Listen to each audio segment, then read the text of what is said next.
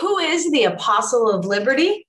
Find out on today's Three Minutes in UU History.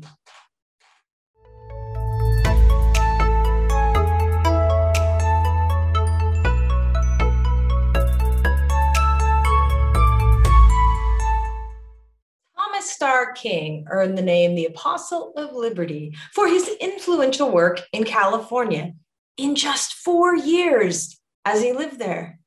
Like many of the things we cover in three minutes in UU history, we are sure to cover the works of Thomas Starr King again in the future.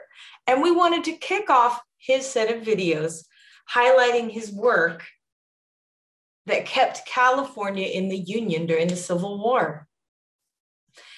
As an American Universalist and Unitarian minister, Starr King accepted a call to, the, to be the lead minister of the First Unitarian Church in San Francisco in 1860 when he was 36.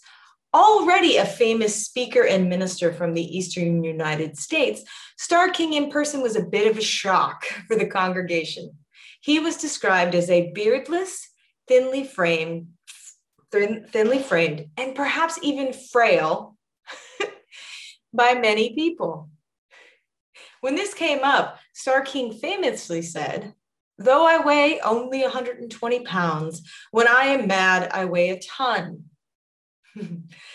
this was reflected in his ceaseless work to keep the Union whole. Starr King blended his work this work, this calling, and his faith together seamlessly. He was a well known speaker described as fiery in his passion to keep California in the United States and to keep the Union whole. It was noted that crowds as large as 40,000 people would gather to hear him speak, mixing politics and religion. Starr King once recollected of an 1861 speech I pledged California to a Northern Republic and to a flag that would have no treacherous threads of cotton in its warp. And the audience came down in thunder.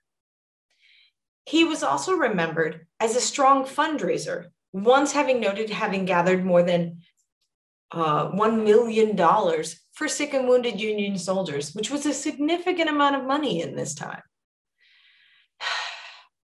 After his March 4th, 1864 death from diphtheria, Starr King lay in state. He was wrapped in an American flag. He had a military honor guard who stood by his casket the entire time.